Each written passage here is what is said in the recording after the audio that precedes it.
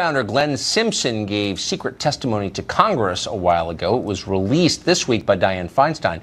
The transcript seems to have unwelcome and probably unintended revelations for Democrats, though.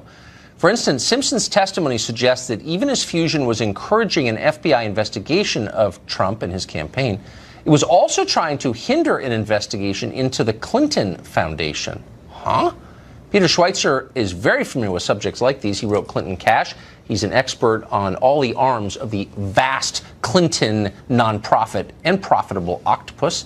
He joins us tonight. So, Peter, tell us what this transcript suggests.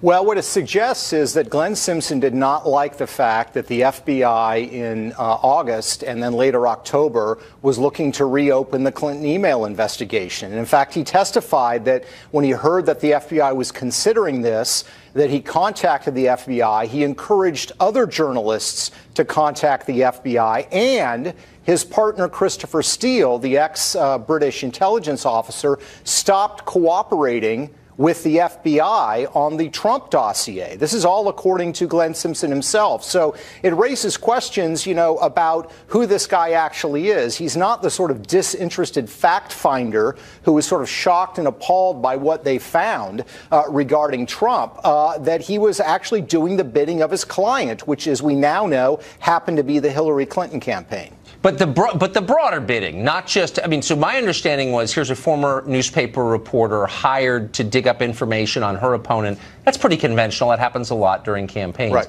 But this suggests that he was in fact a partisan trying to help the Clintons in another arena entirely. Yeah, that's exactly right. And look, I mean, you know, he continues to use the term, Simpson, that this is sort of opposition research. You know, uh, Tucker, you and I have been around the block in Washington for a while. Um, that dossier was not opposition research. Opposition research is only useful if you can gather information and then give it to the media, and the media can replicate it. The Trump dossier was all anonymous sources, you know, based on, on two to three iterations. Um, it was shared with uh, newspaper reporters, but more specifically was shared with the FBI. And the whole process shows how terrible the sausage making was in this case. I mean, Fusion GPS is, is uh, trying to intervene in a possible Clinton Foundation investigation, uh, sorry, Clinton email investigation.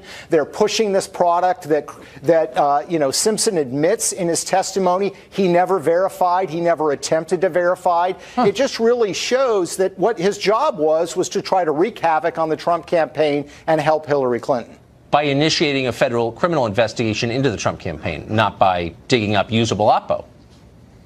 Yeah, that's exactly right. And so what they did is in a couple of stages, they shared this dossier around with media outlets, then they took it to the FBI. And of course, keep in mind that we know of at least one senior Department of Justice official whose spouse was working for Fusion GPS.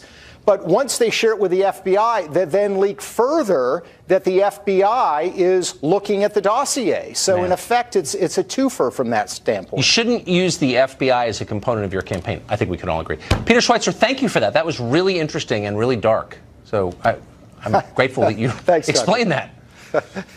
Thanks. Well, Democrats have often suggested, and their allies in the press have amplified the claim, that the White House has somehow been taken over by Russian agents.